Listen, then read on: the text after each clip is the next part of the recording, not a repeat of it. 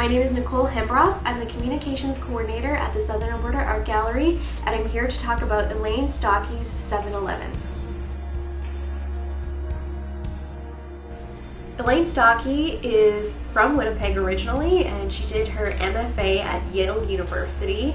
Uh, these photos have been taken in various locations, some of them in Winnipeg, some of them while she was doing a residency in LA.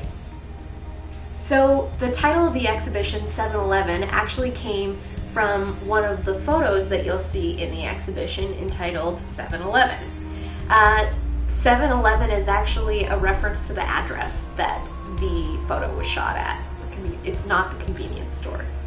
Uh, the photographs that you'll see in the exhibition are taken for the most part on like silver gelatin uh, film and then they're developed in like the old-fashioned way using chemicals and all those sorts of things. This is not a digital camera kind of exhibition.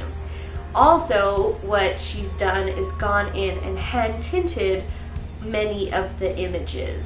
So that means that Elaine has actually colored the images herself and chosen those colors for specific reasons.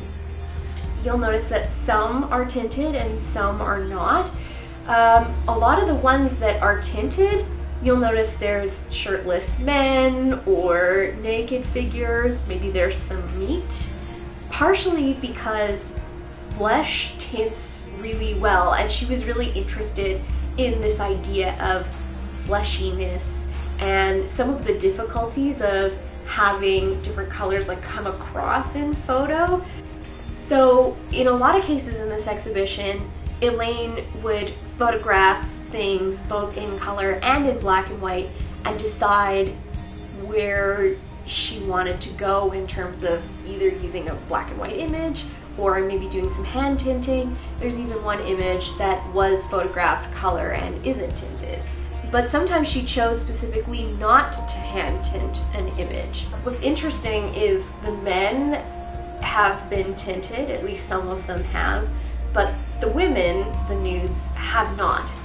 She wanted to get away from sort of the images of the past where women were very daintily hand tinted. You know, you maybe got just a little color on the lips and on the cheeks, or maybe you got something more um, intense where you're actually emphasizing curves with tint or detracting from curves with tint.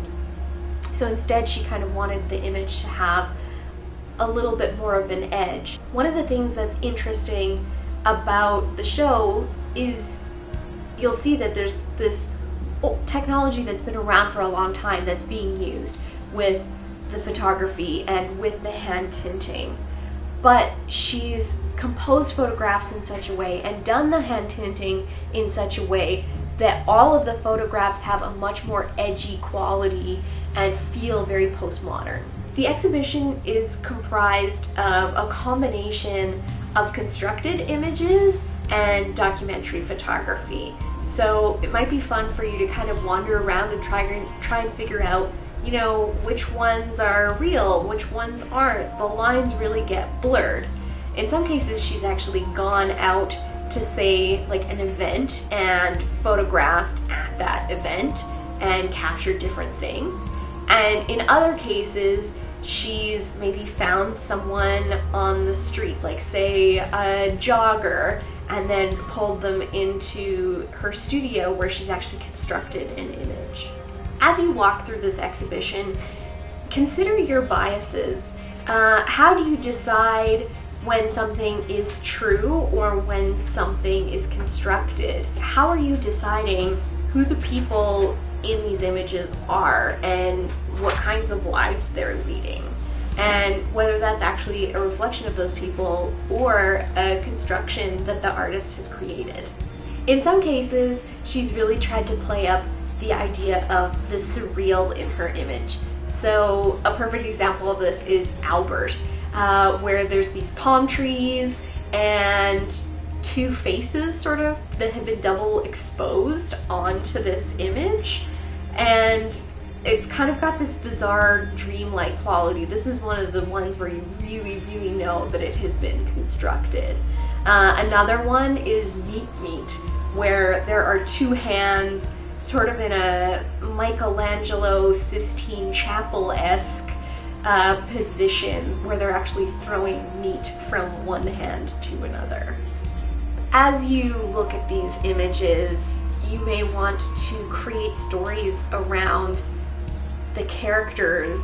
I don't know that that was entirely the artist's intention. I think a lot of this is a study in construction and documentation and street photography and sort of capturing that sort of special moment that maybe somebody has. But all of that, it doesn't necessarily have to be either it's constructed or it's documentary. It all sort of lies on this spectrum and kind of has a little bit of both.